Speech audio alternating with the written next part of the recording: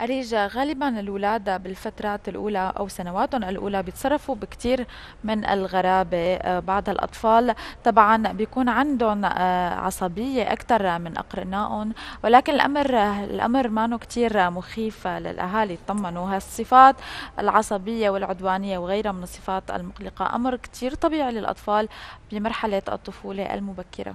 ولكن تحويل الطفل أو حتى يمكن أي شخص من شخصية عدوانية آه، لشخص غير عدواني. أمر بيحتاج لبعض الوقت والصبر ويجب الاهتمام بالسلوك العدواني بالتحديد حتى لا يؤثر بشكل سلبي على تطور عقل أطفالنا. ولنحكي أكثر عن آه، الشخصية والسلوك العدواني بسنا اليوم. انه نرحب بالأخصائية النفسية غالية سعيد يسعد صباحك غالية. بونجور أهلا وسهلا فيكي. كيفك؟ شو الأخبار؟ الحمد لله تمام. حبيبتي. يسعد صباحك غالية. خلينا نحكي بداية عن الشخصية العدوانية عند الأطفال دائما بنشوفها عند الأولاد مثل ما حكينا بالمقدمة بسنواتهم الأولى. شو أسبابها؟ وعارفين عنها أكثر تمام عزيزتي. خلينا نقول شوي بداية شو هي تأسيس الشخصية وكيف ممكن تتأسس. هلا الشخصية رح تكون هي عبارة عن أفكار عن معتقدات عن سلوك عن آراء عن خبرات رح تتم قدام الطفل بمرحلة معينة. رح يجمع كلياتهم هدول موجودين ويعمل لهم داونلود ويأسس شيء اسمه شخصية وينتقل ينطلق فيه على الحياة ويواجه فيها الحياة. هلا كيف تتأسس عنا الشخصية العدوانية للطفل؟ فيما بعد بتنتقل لشخصيات ممكن تكون غير سوية بالمجتمع ممكن ينتقل لشخصيات تكون معادية بالمجتمع. الفكرة إنه كيف بيطلع عنده العدوان. لما بيحاول إنه هو يثبت موقف أو يحاول إنه ياخذ شيء أو يحصل على أي شيء فبيعمل آلية أو تكنيك معين مع الأهل فبيحاول آه، يفرض فكرة أو يفرض رأي. فبيلاقي إنه يمكن من أول مرة ما مشي الحال ما فبضل مصر على عناده أو بيكون في عنده نوع من آلية العدوى والانتقال بشخصية الأم والأب. يعني مثلا بينتبه إنه الأم لما بتقول إنه أنا بدي هذا الشيء فهي مصرة بس ولكن بطريقة أحيانا تكون ما كثير لائقة. تاخذها بطريقة حدية أو بطريقة الجواب الحد أو بالأفعال الإجبارية فبياخذها كمان سلوك عنادي هو. ونفس الوقت كمان بيتابع بيرجع بيقول إنه أنا هذا السلوك أنا مصر عليه لأنه ما لقى إرضاء الحالة لارضاء السلوك اللي عم يصير معه بس بطريقة مرضية وسوية له. هلا فيما بعد ممكن ينتقل إذا طبعا هذا السلوك ما تنمق وتحدد وصار ضمن توجيهات وصار في آلية رفض له طبعا آلية اللفظ تكون مقنعة بتحول فيما بعد لسلوكيات وتصير عندنا شخصيات غير لائقة اجتماعيا غير مقبولة وسطيا ممكن ننتقل لمرحلة ثانية اللي هي تكون الشخصيه المعاديه للمجتمع. لكن غالية شو هي أسباب تكوين هذا السلوك؟ إن كان عند أطفالنا أو حتى بس يكبر الشخص؟ آه آلية إنه كيف إنه ما لا يعرف يطلب الطلب. لما بده يقول إنه أنا بدي هذا الشيء. لما نيجي نحن بنقول له إنه لا ما في. الفكرة إنه نحن ما عم نعطيه الجواب المقنع ليش؟ مم. يعني أنا مثلا بقول لها ماما أنا بدي هذا الغرض. بتقول له لا ما في. ودائما للأسف بتسكت. مو دائما دائما كل الأم جاهزة إنها تبرر لي لما أنا بقول له لا فأنا بترك عنده فجوة مفتوحة. إنه شو السبب؟ ليه عم تقولي لا؟ لازم لما أنا أقول لا لأي سبب لحتى ما شكل عنده آلية العدوان أعطيه سبب مقنع. أرجيه شيء واقع على فعلا إنه عملنا هيك لهذا السبب عملنا هيك لهذا السبب. وما حاول أساسا أعمل قدامه السلوك اللي ممكن يعتمده بالنسبة لي يعني أنا أقول ك... يعني أنا أقول لا لكن لما أتصرف مع أشخاص كبار رد عيد نفس الطريقة واعمل فبده يصير في عنده آلية من الخربطة. فاليه الوراثة والعدوى بيناتهم كثير حتكون كبيرة. غالية خلينا نحكي شوي يعني في فرق بين البنت والصبي بالشخصيه العدوانية؟ كيف بتنمى الشخصية العدوانية عندهم؟ هلا ما كثير فرق كثير كبير خاصة إذا كانوا بعمر محدد. ولكن المجتمع بيتجه أكثر بيقول إنه آه، الصبي بيكون شخصيته عدوانية أكثر من أكتر. البنت على اعتبار إنه الصبي خلينا نقول المجتمع بيعطيه أريحية أكثر يعني مثلا إذا ضرب رفيقه أو كانوا عم يلعبوا بالبيت وعمل آلية ضرب ممكن للأسف من بعض المعلومات المغلوطة إنه بنبرر له إنه اي الله معلش شيء ماما أو شيء لكن البنت دائما بتلاقي في عندها كلمة اللا النبرة المرتفعة الحد اللي طلعت إنه لا ما بيصير هيك بتدافع عن حالها. إنه بتدافع إنه ما بيصير انت تعملي وهذا الشيء غلط أو شيء.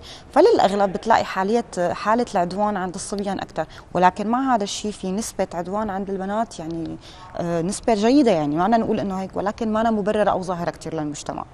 إذا بدنا نحكي عن آه، كيفية آه، يمكن معالجة العدوان ومعالجة السلوك ونمو سلوك صحيح لأطفالنا ولحتى يكبروا. كيف بتم هالموضوع وشو الواجب على الأهل اتباعه؟ تمام. أهم شيء إنه يكون في عندنا خطوات واضحة كثير بالتعامل معهم. يعني أنا مثل ما تفضلت قلت لك لما قلت لك أنا بدي أقول له لا أو أنا في هذا التصرف أنا وعملت هاي الفكرة دائما يكون في عندي المبرر دائما يكون في عندي الجواب المقنع. دائما لما أنا بدي أتخذ أي سلوك مع الطفل كون جدية كون فعلا إنسانة يعني ماسكة الموقف تماما وعلى أصوله. يعني تجي مثلا الأم تعمل تصرف بيطلب الطفل إنه ماما أنا بدي هذا الشيء بتقول له لا.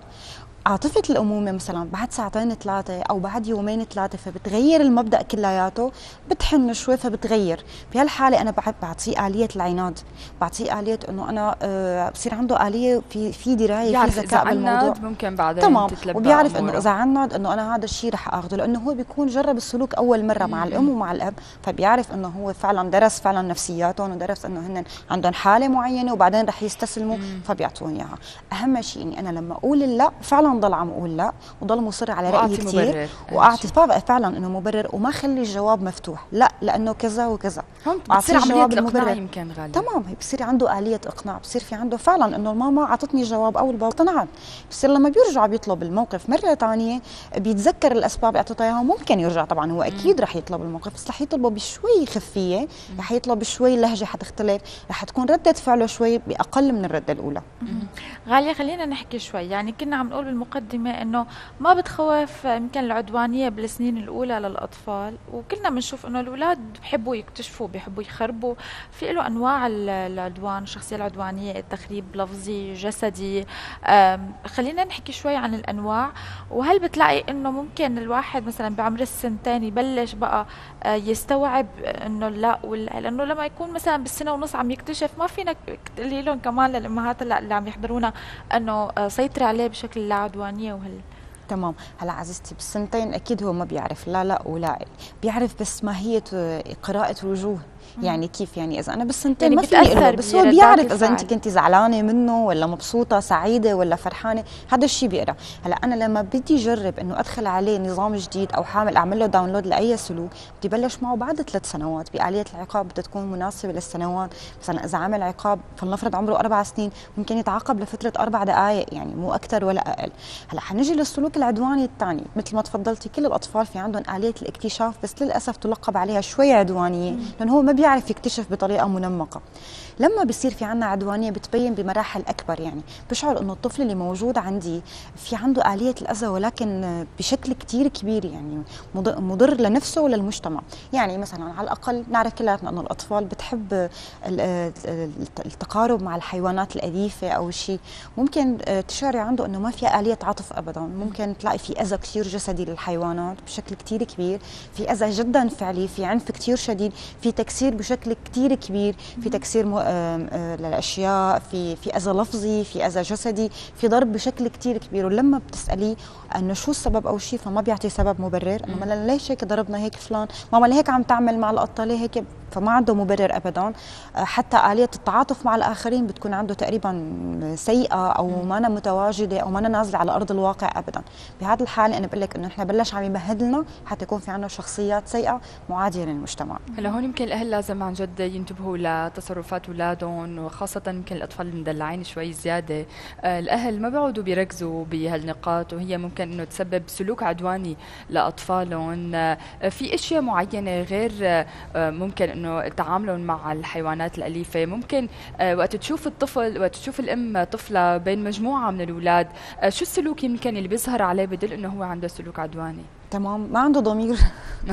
لا مستتر ولا غائب. بكل بساطة هلا آلية الضمير هي موجودة بالكتالوج الأساسي تبع الطفل. طبعا بتتنمق وبتزيد مع الخبرات والتدريب. ولكن للأسف أحيانا آه، في عنده دائما بتكون عنده الأنانية جدا مبالغ فيها. آه، إذا ضرب طفل ما في عنده آلية التعاطف ما بيعتذر. آه، دائما بيحاول إنه يخلص أغراضهم. طبعا بآلية زيادة. كل الأطفال عندهم إياها بحالة طبيعية. ولكن هو بتكون زايدة عنده. بيضرب بشكل كثير كبير بشكل كثير مؤذي بيستعمل ألفاظ كثير نابية وكثير جارحة. أنانية جدا بتكون عالية. العنف كثير بيكون شديد لفظي جسدي بأي حالة من الحالات. ما عنده حالة من إنه إذا قلت له ماما ليه هيك عملت؟ ما عندي ما عنده مشكلة ما, عنده ما بيتأثر. آه ما عنده ابدا تبرير لهيك عملت مو حرام أو شيء ما بيعتذر ما عنده آلية الاعتذار ابدا. ودائما بتلاقي مثل ما سبق وحكينا مرة بيكون في عنده آلية تنمر كثير كبيرة فبيحاول يفرض على الآخرين إنه أنا البطل أنا الموجود. وما بيتأثر ابدا بالمشاعر الإنسانية حتى بيقولوا لك بالعامي إنه ما في حدا ابدا يعني. يعني النفس اللوامة عنده لو كان بعمر صغير هي منتهية ما أنا موجودة أساسا. فهي هون إشارات كثير قوية لازم الأم تنتبه لأنه ما في تعاطف. هون لازم يتم تدخل أخصائية نفسية أو أخصائي نفسي. طبعا طبعا حتى بالعكس بالمراحل الأولى بيكون جدا مهم. لأنه حتى هي الآليات نحن لازم إنه نحاول نهذب له إياها كيف ننشا عنده تعاطف كيف يكون في عنده آه، حب الآخرين المفاعلة مع الآخرين المبادلة بالود حتى ما ينشأ فيما بعد طفل فعلا متنمر ويصير الموضوع خارج عن الحالة. ونقدر حتى حتى فيما بعد بينطع آلية التنمر بصير شخصيات آه، ممكن إجرامية معادية للمجتمع بشكل كتير كبير. وهي اللي بتلاقيها بتنزل بتصير عندها آلية القتل وآلية بالدم البارد والنفس العدن اللوامة اللي ما يعني ما موجودة أساسا بتصير. غالية دائما آه، الحل هو المدرسة أو الحضانة. دائما الأهل مثلا ما بيحكي الولد اي يلا على الحضانة. مثلا عدواني يلا حطوه بالحضانة. أنه ينسجم مع الأولاد. فاحكي لنا عن دور المدرسة أيضا بتهذيب تهذيب الشخصية العدوانية للطفل. هلا دور المدرسة كثير كبير وهذا شيء كثير مهم ما فينا ننكره ابدا. لكن الفكرة إنه أنا لما بدي ابعث طفل من عالمي الخاص اللي هو المجتمع الأسري الصغير للمجتمع الأكبر اللي هو المدرسة أساسا لازم أنا يكون في عندي أساسيات زارعتها يعني الداونلود من عندي. يعني ما أعتمد بس على التنزيل اللي هن بينزلوا له المعلومات فيه لأنه يمكن أحيانا ممكن يقتبس من الأشخاص الآخرين ممكن يقتبس من شخصية المعلمة ممكن يقتبس كثير شغلات ما تناسبني أنا أحيانا حسب نظامي بالبيت. حتى أبعته فعلا على البيت وأخلص من هي العدوانية آلية التشارك مع الأطفال آه، حاول دائما ورجي أنه في متعة كثير لما بتكون في آه، مشاركة مع الأطفال في متعة كثير بالتعاطف. دائما أعمل السلوك اللامباشر بالبيت. يعني لما بيكون عندي كمان طفل عم يلعب بالبيت كثير ممتع إنه هو عم يلعب امرق حطه كل شوي اسمع حديثه مع ألعابه. لأنه هو فعلا بيعكس كثير من شخصيته على هالألعاب حتى لو كان صغير. آه لما بدي أعمل له شيء غير مباشر إنه فيني أنا والأب أعمل كثير آلية ذكية إنه أنا آه أبعث للأب السلوك اللي أنا بيهمني. طبعا هو يعطيني السلوك المناسب وثقة تماما إنه الطفل لو ما انتبه لكن هو قاعد وعم يشوف وعم يتابع.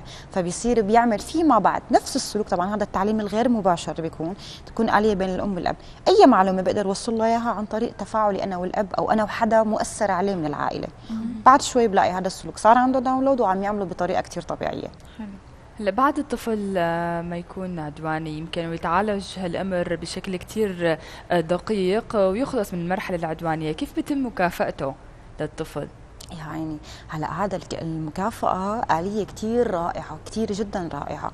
مثل ما أنا بعاقب الطفل بالنظرة السيئة تبع إنه هلأ في قتلة ولا هلأ أنت محروم ولا هلأ بيجي البابا رح نعمل خناقة أو شيء في آلية الثواب اللي هي بتكون بإيماءات الجسد. ما بتتخيل الطفل قد إيه بيكون سعيد ومسرور فيها. يعني لما بنكون قاعدين بمجتمع وبيعمل حركة أنت أساسا مسرورة فيها فبتبعتي له نظرة الامتنان نظرة الشكر حركات جسدك لأنه شكرا ماما. هي بتعمل له حالة من الروعة كثير فظيعة. حتى بصير بيتعمد أنه يكرر السلوك مرة ثانية كرمال يتلقى منك هي النظرة.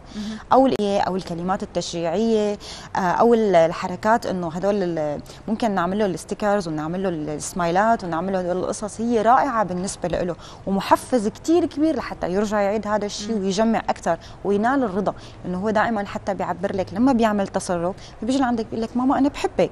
فهو بينطر دائما كلمة وأنا كمان. هي بالنسبة له تشجيع كثير رائع. فدائما لازم ما نقطعهم ابدا عن الكلمات التشجيعية. طب خلينا نحكي غالية كمان يمكن في آه، ظاهرة كتير ظاهرة بالمجتمع هلا وخاصة مع الأمهات أو الجداد إنه مثلا أولادهم كتير بيشوفوا مواقع التواصل الاجتماعي بسن صغيرة بيشوفوا آه، أفلام الكرتون اللي فيها شوية عنف. هل هذا أيضا بيأثر؟ شو بتنصحيهم لأنه بصير الموضوع خارج عن السيطرة. يعني سمعت أكثر من حدا إنه خلص ما عاد في إنه ما بده موبايل أو ما بده تي في. فشو بتنصحيهم للأمهات حتى كمان آه، ما يتأثر بشكل عدواني بهي المواد؟